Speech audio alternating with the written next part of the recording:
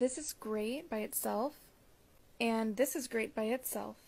But putting these two together, gorgeous, stunning, beautiful, all the words.